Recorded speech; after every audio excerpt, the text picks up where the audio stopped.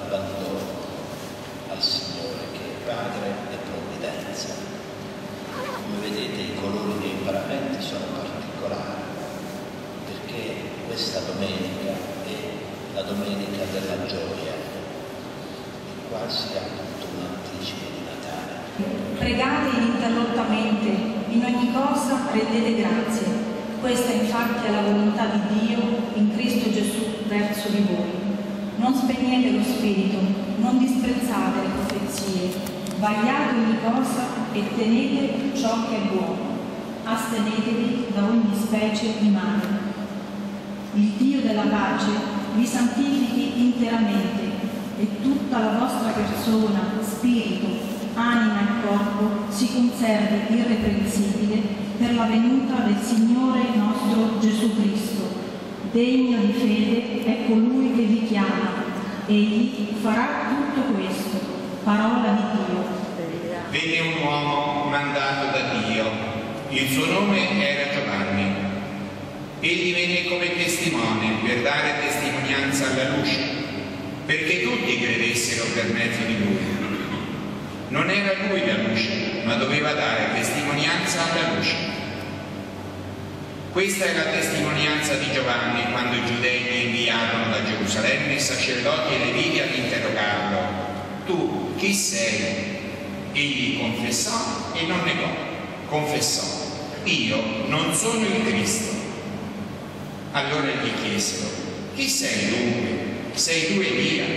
Non lo sono, disse. Sei tu il profeta? No, rispose. Gli dissero ancora, chi sei perché possiamo dare una risposta a coloro che ci hanno mandato? Che cosa dici di te stesso? Rispose, io sono voce di uno che grida nel deserto, rendete diritta la via del Signore, come disse il profeta Isaia.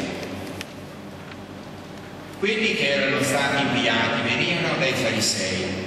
Essi lo interrogarono e gli dissero, perché dunque tu battezzi se non sei Cristo, né Elia, né il profeta? Giovanni rispose loro, io battezzo nell'acqua. In mezzo a voi sta uno che voi non conoscete, colui che viene dopo di me. A lui io non sono degno di slegare il laccio del sandalo. Questo avvenne in Betania, al di là del Giordano, dove Giovanni stava battezzando. Parola del Signore. La parola di Dio che abbiamo ascoltata bisogna farla risuonare nel nostro cuore. Una messa in questo luogo per dire grazie al Signore per il dono della vita, per le nostre famiglie, per il lavoro, per la conclusione della vertenza aziendale. Una messa per invocare dal Signore il dono della pace nel mondo, nella nostra città e nella nostra fabbrica. Una messa per scambiarci gli auguri di Natale in anticipo, insieme, operai, impiegati, manager, dirigenti, famiglie, autorità. La parola di Dio ci ispira pensieri e sentimenti. Siamo alle porte del Natale e tanti segni ce lo preannunciano. Le luminarie, gli alberi di Natale, il presepe, la stella di Miranda, il desiderio di provvedere a qualche regalo almeno per i bambini, clima particolare della tradizione di questo tempo ci ispira due sentimenti, la gioia e la speranza. L'incipit di questa messa della terza domenica di Avvento, quasi anticipo del Natale, suona. Rallegratevi sempre del Signore. Ve lo ripeto, rallegratevi, il Signore è vicino. Un invito augurio alla gioia seguito dalla motivazione, dalla radice, dall'oggetto della nostra gioia.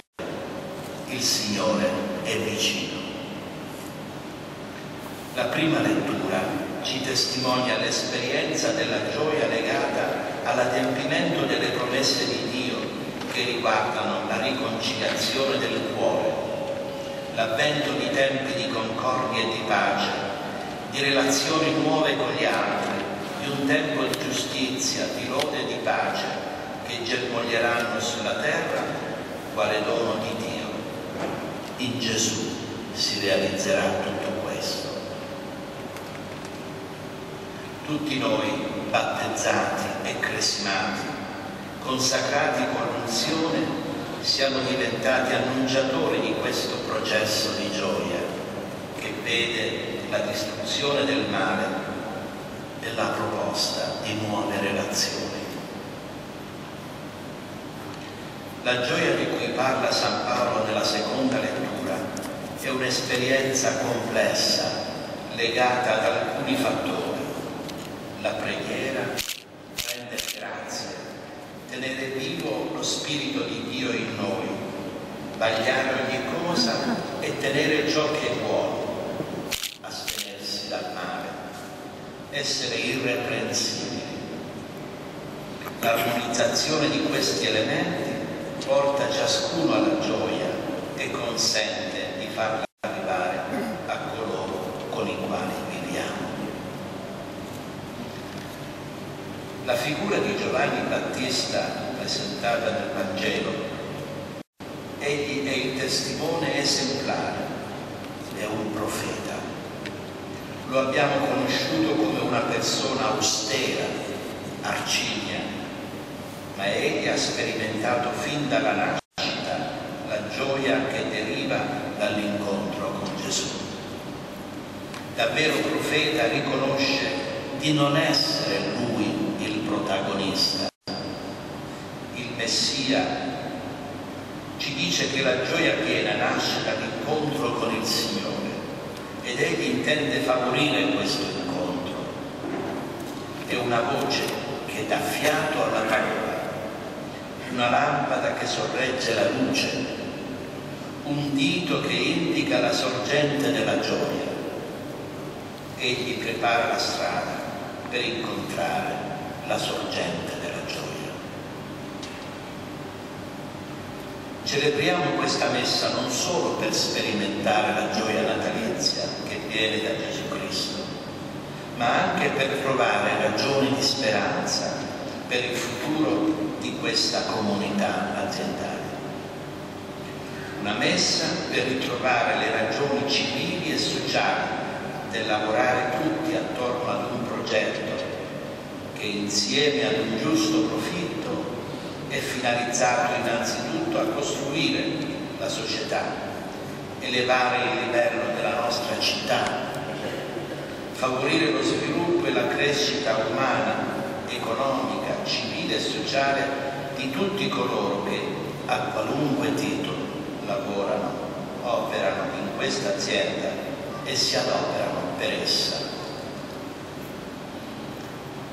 Il lungo tempo di sciopero, di confronto, di incontro e di scontro tra le parti sociali di questa azienda ha posto nero su bianco una parola di conclusione e di accordo. Sarà pace, sarà armistizio, sarà moratoria. Mi auguro che sia pace, concordia e amicizia. ma la pace, anche in un'azienda di acciai speciali, va innanzitutto invocata come dono di Dio, di Gesù Cristo, principe della pace. Essa inoltre va ricercata, promossa, costruita giorno dopo giorno e custodita. In ogni accordo, che è un compromesso, tutti assaporano una vittoria che a volte ha il gusto dell'amaro, perché si parla non a ciò che si è ottenuto, ma a ciò a cui si è dovuto rinunciare. Ma la vita non può essere vissuta come armistizio tra battaglie continue. Con delicatezza mi permetto di ribadire quando, a tutti quanto ho scritto qualche giorno. Mentre si sottoscrive un accordo, ci si assume un impegno sincero e leale a ricomporre il tessuto aziendale e civile. Vanno ricuciti i rapporti interpersonali e istituzionali all'interno della fabbrica, dove certamente, certamente sarà difficile far finta che non sia successo niente. Rivendicazioni, parole sopra le righe, toni alti, gesti e posizioni dure non sono cose che si superano facilmente. Cova spesso all'interno di ognuno, anche dopo l'accordo, il desiderio del prevalere e della rivincita senza una positiva volontà di rispetto reciproco e il desiderio di ritornare a rapporti istituzionali corretti, improntati a stima, collaborazione e perché no, a perdono reciproco. La collaborazione diventa difficile e la vita quotidiana pesante. Mentre si torna ad una normalità vanno medicate e curate le ferite che ognuno riscontra in sé e intorno a sé, perché si potrebbe correre il rischio di avviare l'azienda verso il decadimento in cui tutti e ciascuno dei protagonisti verrebbero a perderci in termini di serenità, di salute, di benessere e di speranza. Abbiamo una lunga storia di 130 anni da raccontare e che può insegnare a tutti modalità, percorsi e mezzi per affrontare e risolvere crisi di vario genere. Certo, la crisi globale che attanaglia il mondo e in particolare il nostro Paese è un macigno insostenibile, ma guai a pensare al tanto peggio, tanto meglio come non mai dobbiamo mostrarci una comunità civile unita e determinata. E non mancano eccellenze e doti di intelligenza, di mente, di cuore, di volontà per conseguire obiettivi e meti di benessere sostenibili per tutti i comunità. Quel bambino di Betlemme che ricordiamo a Natale principe della pace, rispetti nei governanti, nei potenti della terra, in tutti gli uomini sentimenti nobili di giustizia sociale, di pace e solidarietà. Concludo con le parole a augurio di Papa Francesco. La gioia del Vangelo riempie il cuore e la vita intera di coloro che incontrano Gesù, coloro che si lasciano salvare da sono liberati dal peccato, dalla tristezza, dal vuoto interiore e dall'isolamento. Con Gesù Cristo sempre nasce e rinasce la gioia, anche a terra, anche qui nelle aste. Giovanni fu testimone credibile dell'avvento del Messia, affinché la società sia abitata da uomini e donne capaci di parole e gesti secondo il Vangelo. Preghiamo. Ascoltaci, Signore. In questi mesi abbiamo vissuto momenti di confronto, di discussione, di tensione, tutti coloro che si sono adoperati per trovare soluzioni ed accordi continuino ad adoperarsi nel rispetto e nella fiducia reciproca. Preghiamo.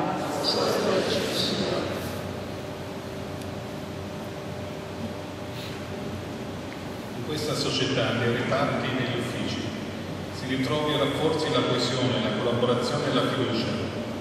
La nascita del bambino Gesù aiuti a riportare un clima di serenità e volontà per fare delle ore trascorse qui dentro un momento di crescita, di soddisfazione personale, di benessere per tutta la città. Preghiamo. Per i nostri colleghi e colleghi che in questo difficile momento hanno deciso di lasciare questa società, il lavoro svolto insieme, le amicizie instaurate, le gioie condivise, siano una spinta e un augurio per il loro nuovo futuro. Preghiamo.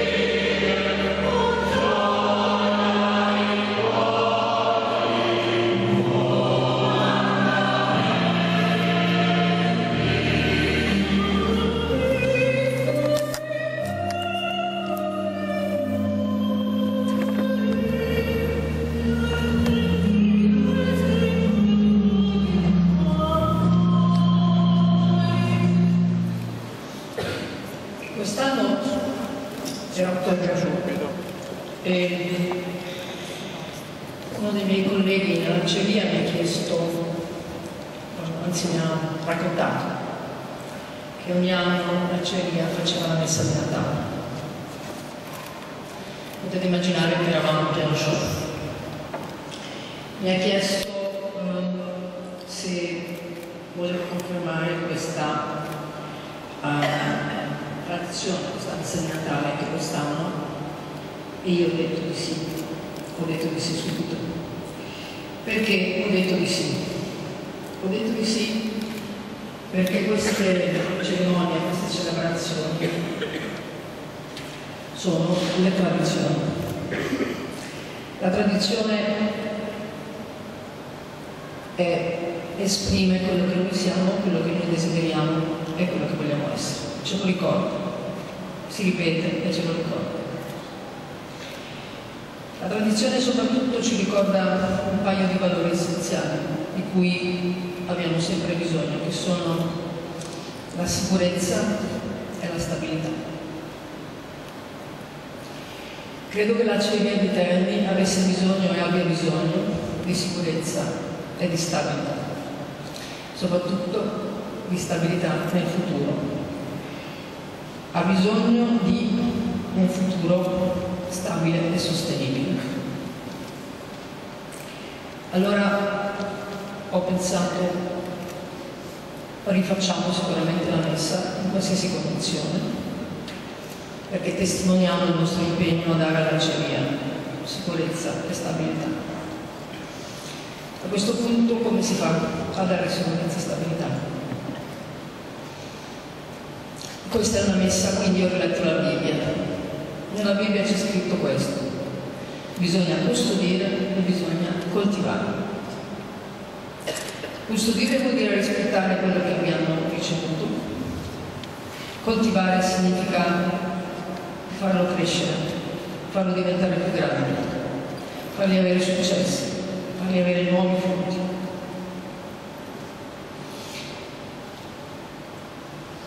L'essenza di custodire e coltivare è il coraggio, il coraggio di affrontare la realtà e anche il coraggio di cambiare. Quello che sta succedendo in Algeria è esattamente questo. Stiamo cambiando per crescere, nella fiducia e nel rispetto di tutti. Il cambiamento è fatto di fiducia, perché si riguarda, definisce qualcosa che ancora non esiste.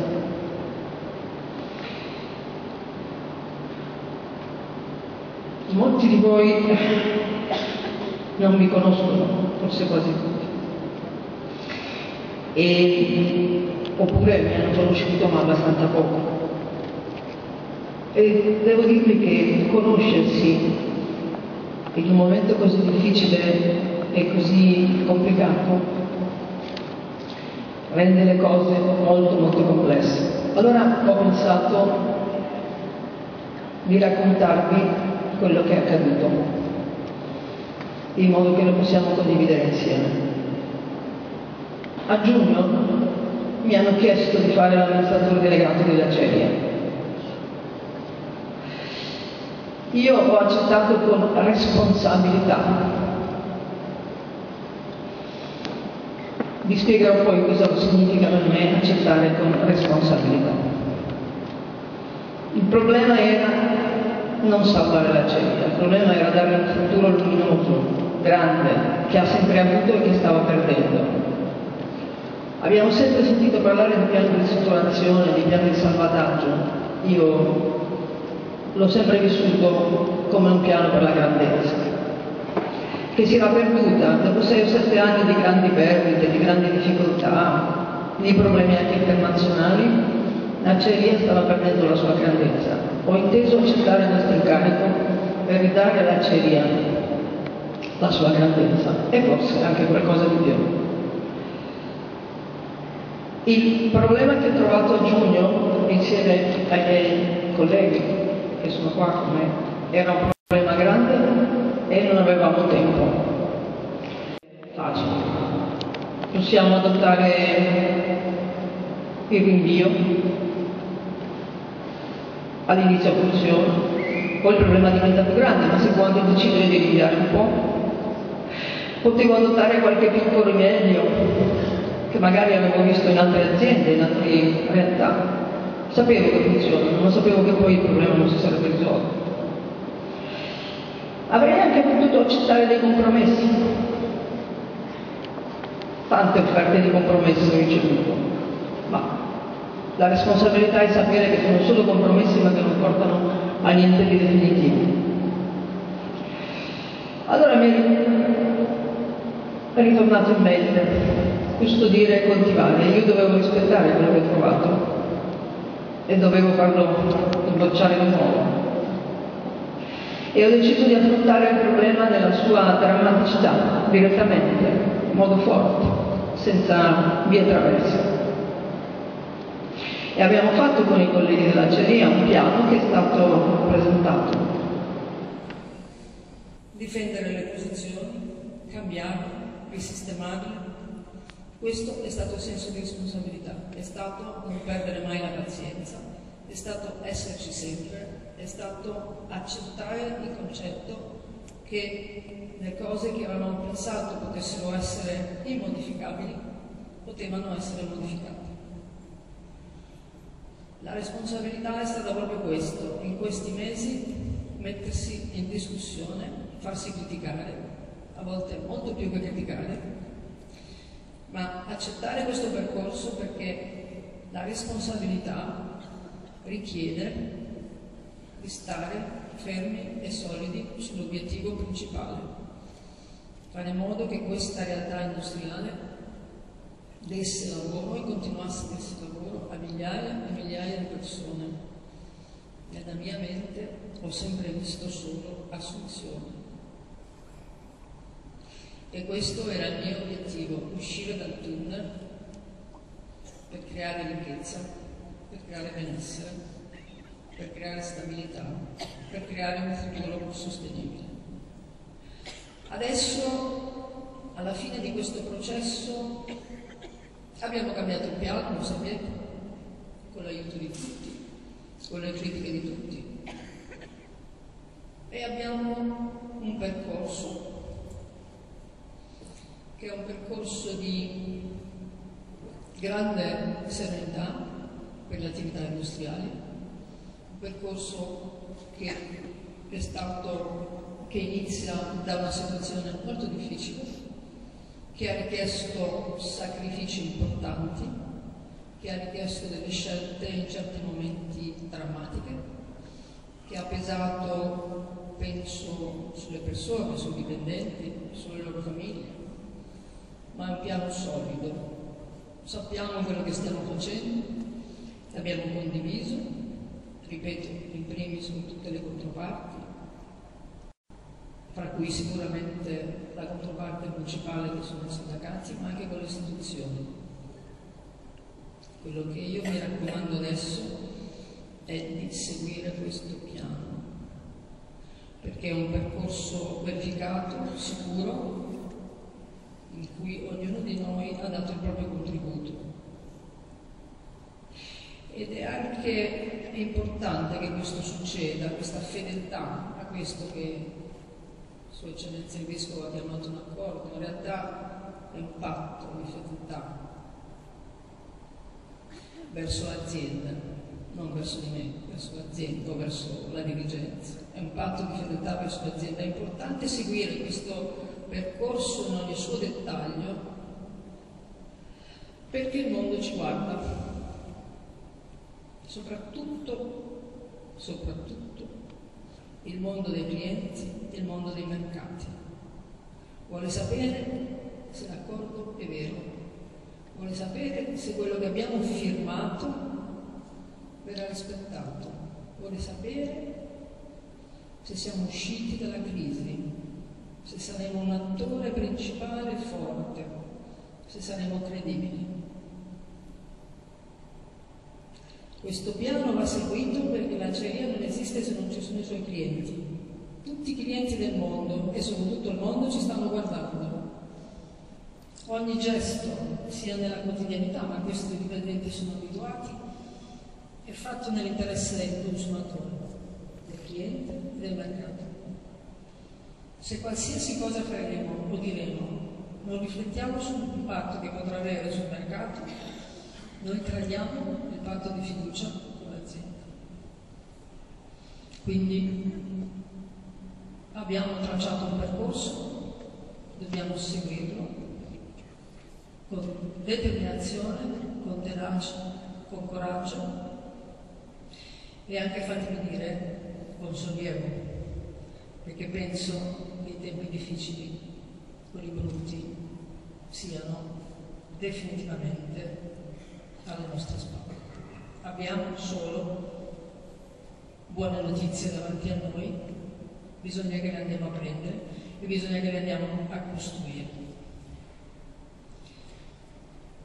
Una parola di ringraziamento adesso speciale ad alcuni colleghi, della, naturalmente a tutti i colleghi che hanno vissuto questi mesi difficili, ai dipendenti della CENIA, ma fatemi dare un ringraziamento specifico ai colleghi che lavorano all'ufficio Paga e Stipendi perché hanno fatto il miracolo alla riapertura della maceria, sono riusciti lavorando di notte e di giorno a recuperare ovviamente attività che erano state messe in sospeso da parecchie settimane per garantire a tutti un Natale più facile e più sereno eh, questi colleghi credo che mi hanno lavorato ieri, stanotte, oggi e io posso confermare che domani pagheremo gli stipendi che normalmente erano pagati a fine novembre e quindi domani in banca ci saranno questi accrediti se non ci sono colpa delle banche ma non dei colleghi nostri mentre esattamente fra una settimana il 22 di dicembre riusciremo a pagare la tredicesima e anche questo è una tradizione. Custodire e coltivare, questa è stata una tradizione difficile da coltivare perché con l'azienda chiusa per tante settimane recuperare questo ritardo è stato un miracolo. Veramente ehm, non è stato merito nostro, non è stato merito dei dirigenti, è stato merito di un patto di fedeltà che queste persone hanno rispettato nei confronti dell'azienda. Io credo che abbiamo vinto questa questi ragazzi hanno vinto una sfida contro il tempo. Eh? Adesso ve la c'è io, vincerà tutte le altre sfide che hanno avanti. Una parola di saluto a tutte le autorità che sono venute, a, a Sua Eccellenza il Vescovo che mi ha aiutato moltissimo in questi mesi, ora lo possiamo dire, e anche a tutte le autorità, a al Sindaco e a tutti i questori che hanno mandato le sue persone e a tutti quelli che dimenticherò, che nel silenzio, o se volete dietro le quinte, non ci hanno mai fatto mancare il loro sostegno. E buon Natale.